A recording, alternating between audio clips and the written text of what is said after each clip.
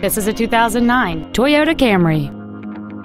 It features a four-cylinder engine and an automatic transmission. Its top features include a power driver's seat, cruise control, stereo controls on the steering wheel, a CD player, an engine immobilizer theft deterrent system, a low tire pressure indicator, multi-reflector halogen headlights, disc brakes with an anti-lock braking system, a rear window defroster, and this vehicle has fewer than 14,000 miles on the odometer.